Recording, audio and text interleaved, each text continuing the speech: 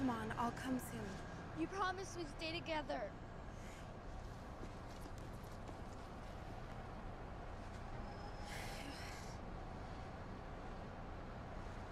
We don't have enough.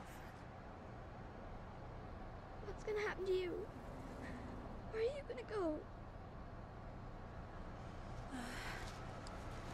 Aunt Ellie will pick you up, and it'll just be for a bit. okay? Hey. I'll be okay.